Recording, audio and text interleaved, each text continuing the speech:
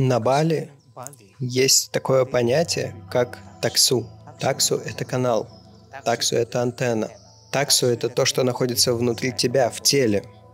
Таксу показывает, что это за человек, с каким талантом, душевной силой и благословением он пришел.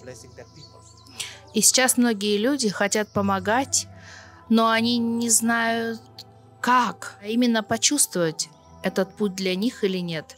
Простите за мой английский. Мой английский еще хуже. Два человека, которые не очень хорошо говорят по-английски, но мы общаемся на уровне чувств.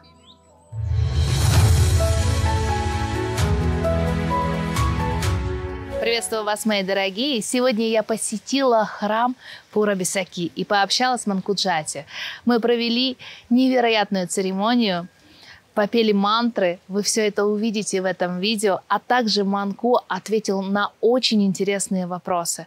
Обязательно посмотрите это интервью, ведь вы поймете, почему так важно открывать сердце, почему так важно идти к Создателю и как вообще Манку сам понял о том, что у него есть этот дар. А как понять вам, если у вас дар, и если у вас возможность помогать людям? Обязательно смотрите. Приятного просмотра! Для меня, я не знаю почему так, но вы для меня как Спасибо. член семьи. Я чувствую, как будто я прихожу к старшему брату, и это удивительно. Я хотела бы задать такой вопрос. Как вы знаете, у меня сейчас много учеников – Помните, я просила благословления вести свою первую группу тех, кто хочет помогать людям. И сейчас многие люди хотят помогать, но они не знают как. Нет, не делать, а именно почувствовать этот путь для них или нет. Это зависит от того, хотят ли они помогать другим людям с помощью тела, энергии или разума потому что учителей много, и Бог дает благословение всем людям с помощью разных способов. Духовные учителя владеют разными способами, чтобы помогать людям. Да, потому что бывают люди, которые только преподают, но у них нет духовной энергии. Или те, у которых есть энергия, но они не знают, как получать деньги, как помогать людям – какой совет вы можете дать людям, которые хотят понять, что для них важнее всего?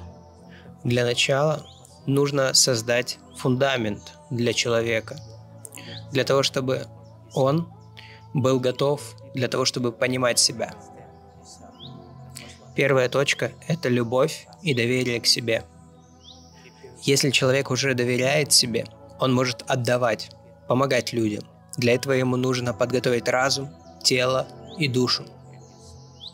Если все эти три элемента в балансе, то ты можешь давать людям.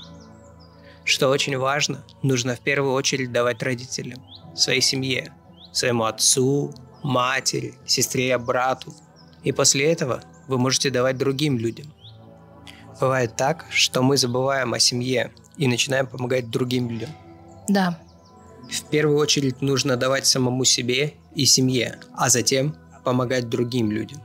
Потому что у вас есть Энергия. Нужно много энергии, чтобы исцелять людей.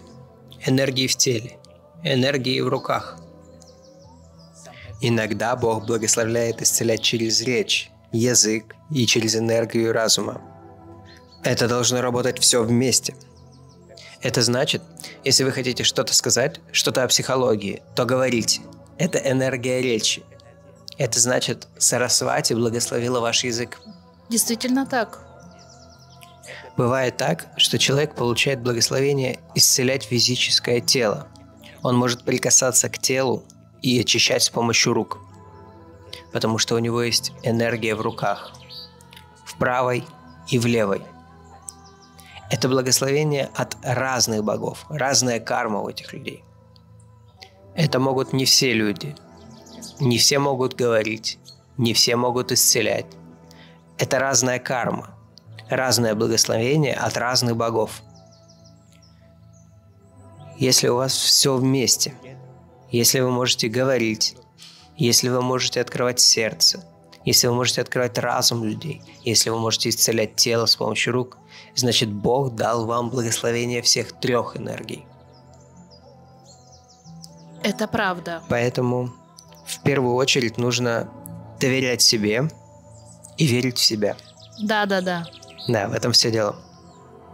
Можно попросить у Бога благословения на все три энергии. Если у вас есть все три, это очень даже хорошо. Многие люди приходят к вам один раз, чтобы исцелиться. Не только поговорить, открыть сердце, открыть разум. Они приходят, потому что есть боль. Сердце может быть открыто, разум может быть открыт, но физическое состояние проблемное.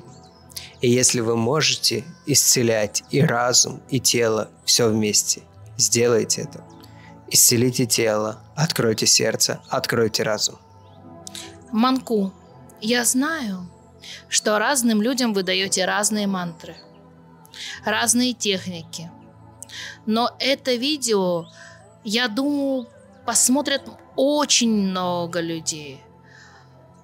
Что вы можете посоветовать тем, кто будет нас смотреть? Потому что сейчас достаточно сложная ситуация в России. Да, во всем мире. Я не могу помочь всем. Только Бог может помочь всем людям.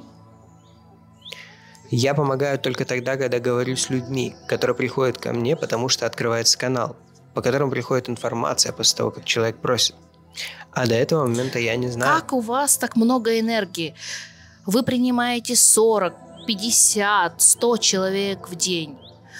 Для меня это прям огромное уважение к вам вызывает, потому что у вас так много энергии. Бог дает вам так много энергии. Это именно поэтому я и стал Манку. Может быть, вы хотите, чтобы я рассказал историю, как я стал Манку? Да-да-да. Давно, когда я был молод, у меня тогда еще был только один сын. Ему тогда было около полутора лет. А мне было около 21 года. И мои предки призвали меня. Призвали меня стать манку. У меня были физические проблемы со спиной. И я пошел к врачу. Я обошел около трех врачей. И все говорят, нет, все в порядке. Но моя спина продолжала болеть. Тогда моя жена и моя мама обратились к другому манку. У него была тесная связь с Богом, Святым Духом и Злым Духом. И мы спросили, от чего у меня в жизни такая проблема? Что с моей кармой? У меня хорошая карма или плохая? Тогда мои предки вселились в тело Манку. Видимо, дух Манку покинул тело, чтобы дух моих предков мог вселиться в него. И мои предки говорили со мной. Они сказали, что любят меня, чтобы я стал Манку. Но я не знал как. Я не был в школе. У меня всего три класса образования, и все. У вас только три класса образования? Да. Я не знал ни санскрита, ни мантр. Я не знал, что я должен был делать, чтобы стать манку. Но я не хотел, не хотел становиться манку. Я думал, что если вы любите мою душу, возьмите мою душу. Вы заставляете мое тело страдать. Но можно выбрать только одно – стать манку или умереть. Я выбрал умереть. Мои дорогие, а вы знаете, что в моем телеграм-канале я веду безоплатное обучение?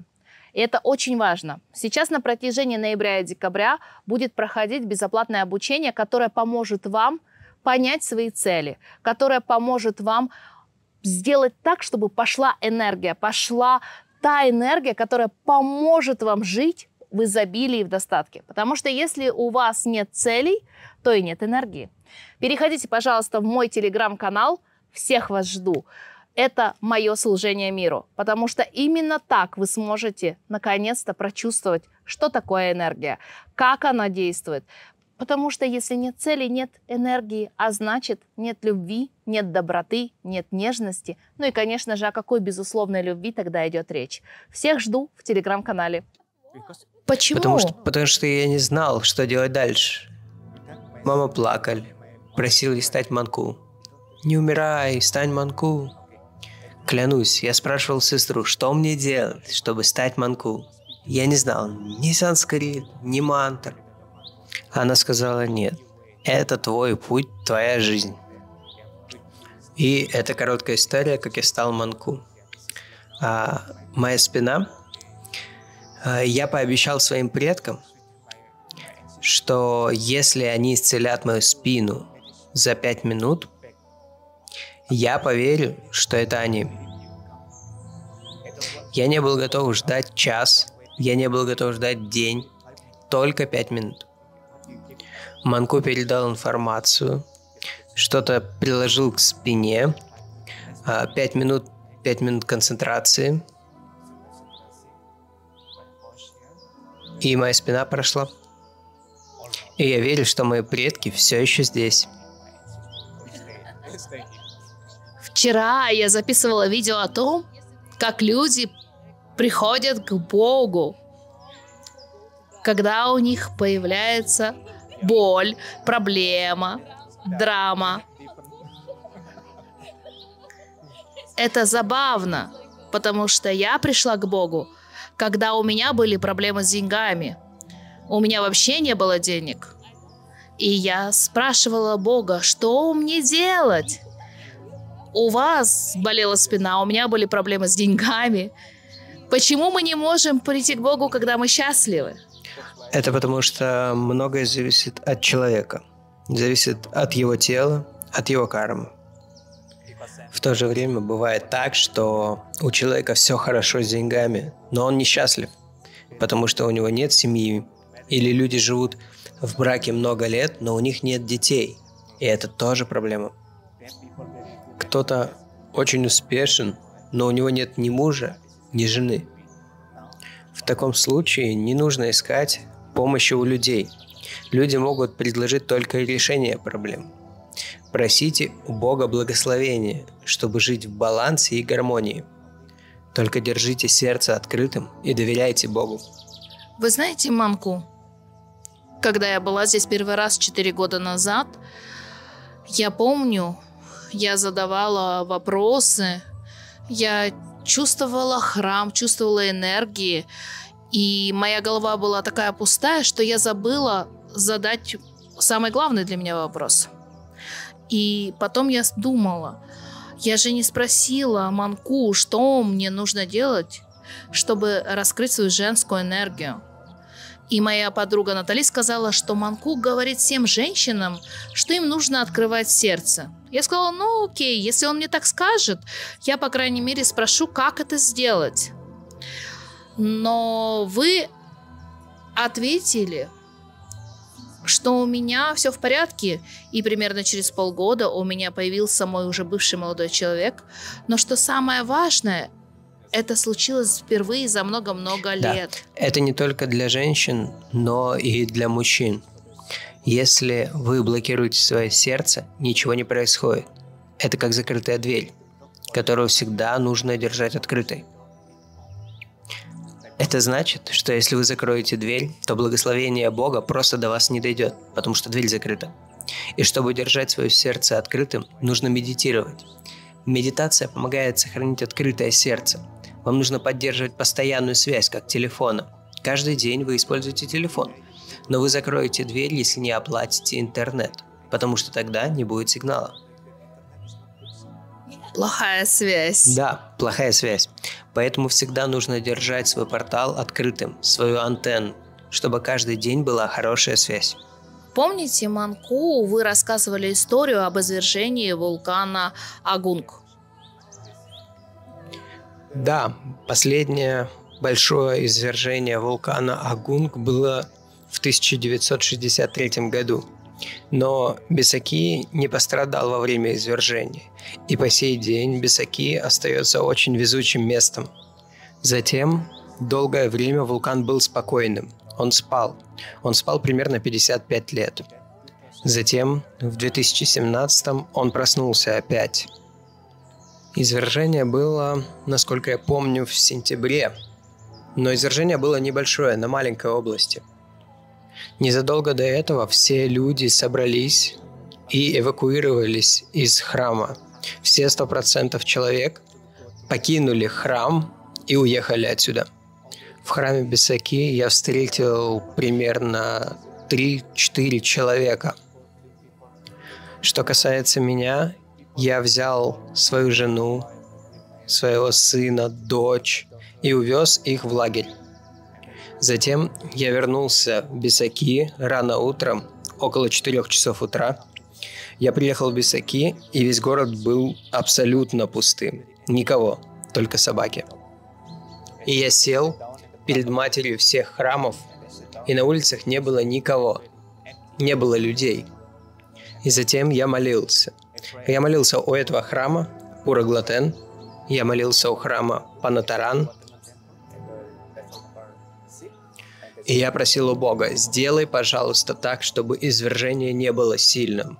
Затем я спустился вниз, к подножью Агунга, к храму Бесаких. Я приходил каждый день. Каждый день я приходил, чтобы молиться. В молитве я просил, чтобы не было больших повреждений. Если это необходимо, пусть, пусть будет магма, пусть будет лава, но чтобы не было сильных повреждений для всего, для Бали, для всего мира. Потому что при сильном извержении Агунга проблемы будут по всему миру. И я просил у Бога благословения на это. И во время медитации я увидел большой черный камень.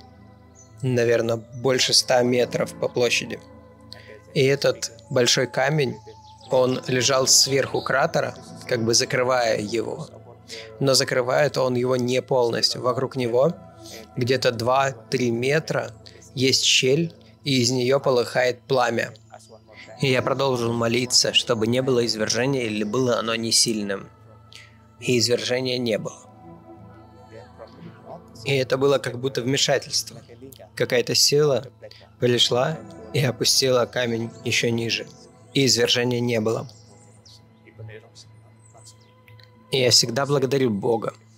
Я на сто процентов уверен, что когда я молюсь, Бог меня слышит. И теперь Бесаки будет в безопасности. Потому что Бесаки – это самый большой храм, материнский храм. Он очень хорош для медитации и духовных практик. Но люди приезжают на Бали со всего мира. И эти люди должны уважать Бали, должны любить Бали и уважать храм. Потому что гора и храм исцеляют. Это все для Бога. Люди, которые поднимаются на гору, они не могут делать все, что хотят. Эта гора очень священна. Нельзя целоваться в храме, нельзя целоваться на горе. Это храм. В храме это запрещено. Вы видите местных людей, балийцев. Они очень уважают традиции. Они очень уважают святые места. Местные люди не обнимаются в храмах, не целуются в святых местах. И я прошу тех, кто приходит в храм в любом месте на Бали, пожалуйста, не целуйтесь в храмах. Белые люди могут целоваться где угодно. Это как выразить свою благодарность, не целоваться в храмах. Может быть, вы можете попросить своих учеников, если вы приедете на Бали, не целуйтесь в стенах храма. Да, на самом деле я считаю, что нужно проявлять уважение. Это святое место с особой энергией. А энергия, она очень важна. Я очень много путешествую, и я была во многих святых местах. Но это место, оно мое самое любимое. Для меня этот храм с очень мягкой энергией. А как вы чувствуете его? На Бали есть такое понятие, как таксу. Разные манку, разные люди имеют разные таксу. Таксу – это канал. Таксу – это антенна. На Бали мы называем это таксу. Таксу – это то, что находится внутри тебя, в теле. Таксу показывает, что это за человек, с каким талантом, душевной силой и благословением он пришел. Потому что все люди получают благословение от разных богов. Иногда люди получают любовь и благословение от Ганеши, некоторые от Сарасвати или Лакшми. Благословения дают все боги, но есть одно божество, которое намного ближе к человеку. Бог всегда дает человеку то, что ему нужно. Разные благословения, в зависимости от его таксу. Это значит, что я верю, что таксу – это как антенна. Может быть очень хорошая связь. Если связь средняя, то это не очень хорошо. Что касается меня, для меня очень близок Ишвара. Он дает мне благословение. И я прошу, Ишвара, благослови людей, которые приходят ко мне, и людей, которые приходят сюда в Бесаки за благословением. Если вы пойдете в другой храм, к другому манку, хорошо, нет проблем. Мое сердце всегда открыто. Вы приходите ко мне и говорите, я хочу прийти к Манкуджати. Вы хотите попросить, чтобы Манкуджати благословил вас. Но я не могу, я не благословляю. Это как Это Бог, Бог дает, дает вам для энергию. людей. Бог благословляет всех людей. Я – это только антенна. Я молюсь Богу. Не верь в Манкуджати.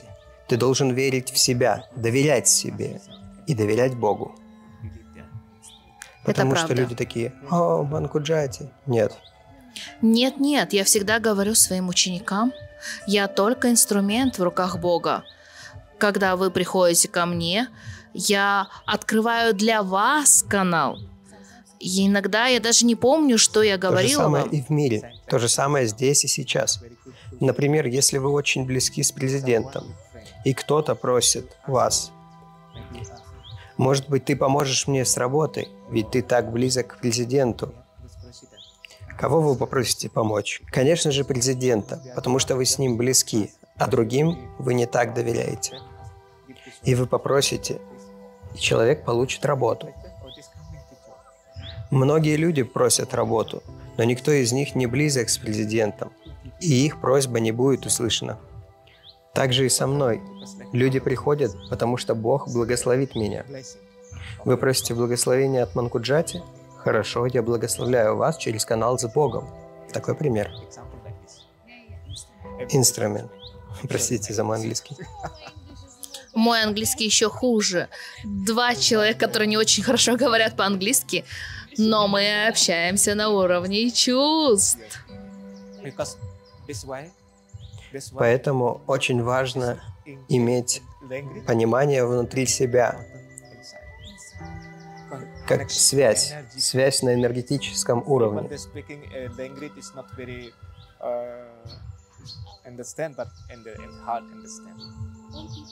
Все люди понимают друг друга, но они не доверяют своей душе. Иногда мы видим, что человек может быть не очень хорошим, что это может быть небезопасно, но мы не доверяем своей душе. Да, также, когда сюда приходят люди. И многие люди живут долго в браге, может быть, 10 лет, и они хотят детей. Но они идут к доктору, а он говорит, вы не можете иметь ребенка. И кто может дать ребенка? Доктор или Бог? Именно поэтому нужно верить и доверять себе. Приходите и просите Бога. Ни людей, ни меня. И я молился более чем за десятерых человек. И многие люди до сих пор мне благодарны. Манку, скажи спасибо Богу, потому что я мечтала о ребенке. И когда я была в Бесаки, после Ишвара храма, я вернулась домой, и где-то через месяц я забеременела. О, это И так таких много, мило. таких Я много. слышала много И это благословение. историй. Не от Манкуджати, от Бога. Манкуджати – это просто канал, просто ступенька на пути к Богу. Натали, Анна, Юлия, я не помню сейчас все имена, Саша, они приходили и просили о ребенке, просили благословения. И кто-то ждет достаточно долго, может быть, 8, может быть, 12 месяцев. Но иногда это очень быстро, может быть, один месяц, и оп, и это как, как, как магия. И для меня они приходят и говорят, спасибо, Манку, а я просто антенна. Я иду сразу в храм и благодарю Бога за то, что Он слышит людей, что Он благословляет людей. И я от всего сердца благодарю Бога за то, что Он слышит мои молитвы о людях. Слушай, так интересно он рассказал про то, что люди к нему приходят, э, которые много лет не могут забеременеть, а, и раз и через месяц ребенок. У тебя были такие, ну, как прям ты знаешь таких людей, чтобы? Да, а, у нас есть пара семейная, ходит ко мне на занятия, и они уже взрослые, у них есть взрослые дети, которые не могли очень долго забеременеть, и уже отчаялись. И вот Марина съездила сюда, при том, что они уже решили, что они не будут ничего делать, да, то есть не эко, ничего. Буквально а, они приехали к Манку и... Какая красота. Да. И Манку им сказал, что через три месяца будет ребенок. Она звонит дочери, так говорит, да не, мы уже отказались от этой идеи. Через три месяца они забеременели, уже приезжали сюда на Бали уже с ребенком, годовасиком. То есть потом я встретила, а, познакомилась в Убуде с парой, я говорю, вот собираюсь в храм Бесаки. Он говорит, «А, передайте Манку от меня привет. Мы были один раз, мы не могли забеременеть. 10 лет. Это мужчина причем рассказывает.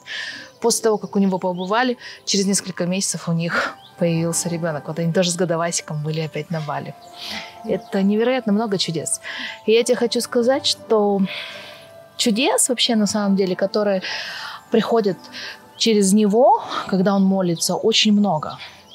Это знаешь, как он верит в то, что Бог даст. Он верит в то, что Создатель, Он щедрый принципе, это очень сильно похоже то, как я работаю с людьми, когда я с ними 21 день работаю с созидательным мышлением, mm-hmm. да, и они получают то, что они хотят. Но вот по детям у меня пока канал не открыт, потому что сама не, ну, сама не имею детей, а у него дети уже и внуки есть. Mm-hmm. И он от всей души, когда молится, то Создатель благословляет этих людей, за кого он молится. Точно так же, как сейчас, например, я молилась там, за 800 человек, которые попросили да, об изобилии. Так как мне Создатель это уже дал, угу. то я могу это сделать, понимаешь? Здорово. Это очень интересный момент, потому что на самом деле очень важно, чтобы мы обращались к кому-то тоже. Хотя, с одной стороны, говорят, вроде бы, зачем вам посредники между вами и Богом? Но дело в том, что вот представь себе, да, то есть ты молишься, ты просишь годами, и почему-то не дается, да, то есть потому что твой канал, он еще засорен, засорен ложными, ложным эго, какими-то убеждениями, какими-то догмами, обидами, болью. А у него открытое сердце и любовь. Но это то же самое, что вот он правильно привел пример, да, то есть как бы, если ты будешь просить там через 100, ну как бы президента о том, чтобы он дал тебе работу, но ты его не знаешь, ты его не видела, ты его не чувствовала. И ты не в его поле, по сути, потому mm-hmm. что у тебя, ну, как бы совершенно другая, да, ступень. Mm-hmm. И он, когда рядом с президентом, это совершенно разные вещи. И я всегда этому благодарен. Всегда будьте благодарны всему вокруг. Всегда-всегда. Потому что Бог нам дает солнечный свет, землю, семью, воздух, еду. За все это нужно благодарить. Да, именно поэтому у вас так много учеников, международных учеников. Неважно, откуда родом человек. Все люди одинаковые. Все люди ваши сестры, ваши братья, ваша семья. Просите Бога благословить всех людей в мире. Даже если они не ваши ученики, просите благословения для всех людей в мире. Это же касается и меня. Каждый день, каждый день в этом храме или в храме моих родителей. Я молюсь в этом храме или в храме Глатан и Шваре, вместе с русскими людьми, вместе с украинцами, вместе с немцами. И в конце каждой молитвы звучит «Пожалуйста, Господи, останови войну». Дай этим странам, России, Украине, безопасность и мир. Пожалуйста, останови войну. И вновь останови войну, останови войну. И каждый день я это делаю без остановки. Потому что я могу отдать свою душу ради спасения мира. Я отдаю свою душу, чтобы сделать этот мир безопасней, остановить войну во всем мире, включая Россию и Украину. И я бы отдал свою душу за то, чтобы закончились войны во всем мире. Но это не поможет. Потому что Бог дает свой путь к тому, чтобы все люди пришли к пониманию, к пониманию себя, к вере и сближению к Богу. Открыть свое сердце. Потому что сейчас люди складывают руки в намасте и молятся. Просят Бога остановить войну и сделать, чтобы в их семье все было хорошо. Итак, они приходят к Богу. Каждый приходит к Богу своим путем. Это правда. Если вы не открываете сердце, не чувствуете безусловную любовь, у вас есть деньги, но нет счастья. Есть ребенок, но нет счастья. Есть муж или жена, но нет счастья. Потому что счастье – это когда у вас есть связь с Да, Богом. это правда. Это путь к счастливой жизни. Да, это дарит счастливую жизнь. Я много раз говорила о том, что я благодарю Бога за стольких хороших учителей на моем пути. Например, в Индии, на Бали это вы. Потому что когда я вижу, как вы любите людей, это дает огромную мотивацию для Да, дальнейшей любовь деятельности. идет из сердца. Поэтому ваши ученики приходят, они любят вас и доверяют вам. Потому что если человек не доверяет, он не сможет открыть сердце, он не придет. По этой же причине люди и приходят в храм за благословением. Они доверяют.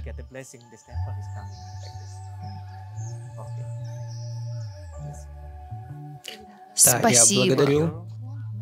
Я хочу, чтобы люди почувствовали вашу энергию, которую вам дает Бог. Многие люди увидят это видео и почувствуют вашу энергию. Да, они чувствуют мою энергию, чувствуют мое благословение, потому что я не учился на бумагах. Это мои предки благословили меня на это. Я желаю вашим людям, вашим ученикам, вам и всем вашим близким и людям во всем мире, и самое главное вашим ученикам, чтобы Бог благословил ваших учеников, чтобы все люди познали любовь. Счастливого дня и счастливой жизни вам. Thank you. Om Shanti, Shanti, Shanti Om.